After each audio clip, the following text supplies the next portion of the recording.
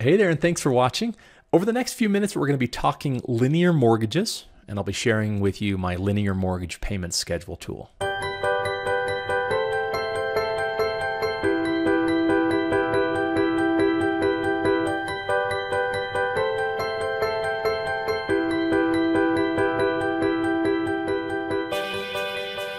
Now, a linear mortgage is a mortgage where the principal payment due in each period stays the same, stays static, it's straight line. And that differs from the type of mortgage you're most likely familiar with, the annuity mortgage, where the mortgage payment stays the same and the principal due each period fluctuates depending on the amount of interest due in each period.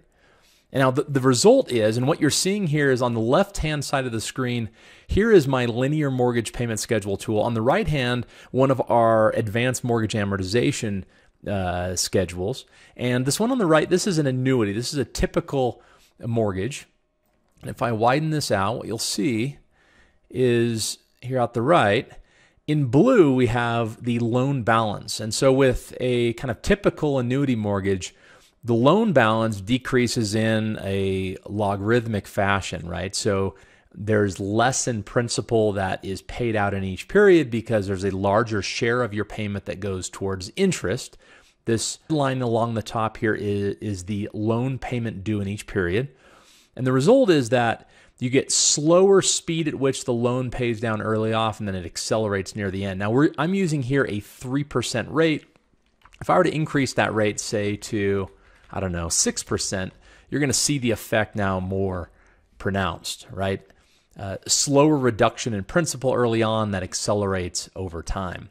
And throughout the, the loan term, the payment due stays the same. That's prob- probably what you're familiar with. Now, with a linear mortgage, the loan payment itself actually decreases over time but the principal due stays the same. And the result is, and you see in blue the loan balance, in a linear fashion, the loan balance pays down. So if, for instance, uh, you intend to pay off 50% of the principal in each period, and each period is a year, the loan would be paid off in two years. Either way, it's linear.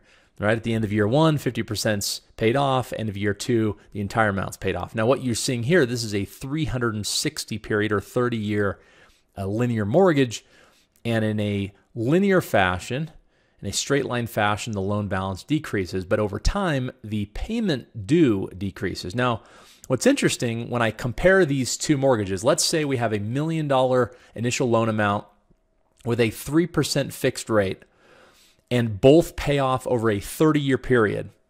What you'll see is your starting payment for the linear payment, for the linear mortgage, is $5,361. Contrast that with here's now the annuity. Let's come back again to a 3% rate. The payment due in each period stays at 4,216 over 360 months. And as a result, you pay 517,775 in interest over those 360 months. In contrast, again, remember 4216 is your flat mortgage payment. Uh, with the linear mortgage, you'll see here's the mortgage payment in column E, and over time that decreases as uh, but then your but your principal stays the same. The reason why the payment decreases is the amount of interest due decreases as the interest is charged on the balance. And your balance decreases in a linear fashion. so you'll see the, the payment it takes about 150 something months to get to effectively the same payment as the annuity mortgage.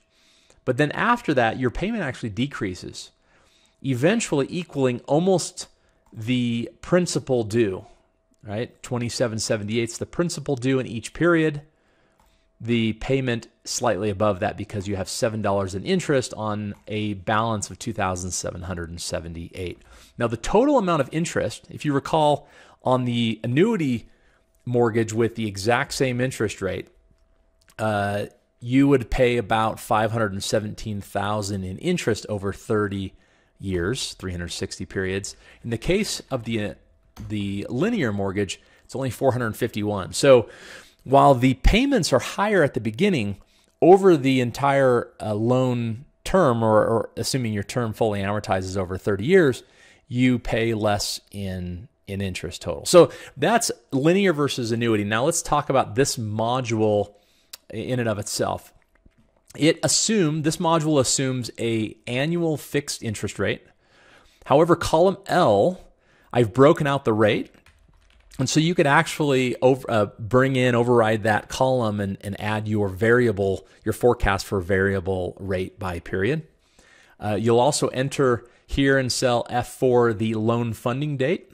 And this date's important because the interest rate, as I mentioned, is, is fixed, but you have the option for three different interest calculation methods a 30 360, an actual 360, where it takes into account an actual number of days in a month, but a 360 day year, and then an actual 365 with a 365 day year. Uh, additionally, you'll enter lender fees, and in, in addition to your loan amount, so in this case, $10,000 would be 1% of the loan amount in lender fees, and that plays into the lender yield calculation. So your rate's 3%, because of the fees, the lender yields slightly higher than that. In the United States, we call that an APR. If this goes to zero, the interest rate on a fixed basis will be equal to the lender yield. Now, an input that's unique to the linear mortgage is what we call the amortization per annum. This is the percentage of the total initial loan amount that amortizes or is paid off in each year. So, say a 30 year mortgage would have 3.3333% that amortizes each each year, such that over 30 years you get the full loan amortized down or paid off. Uh, if you had, say, 5% per year, that's a 20 year mortgage. 50%, as I mentioned, is a two year mortgage.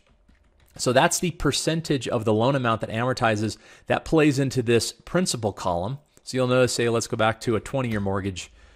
Your principal now is 4167 You add in any interest due in that period, and that gets you the total payment due in that period.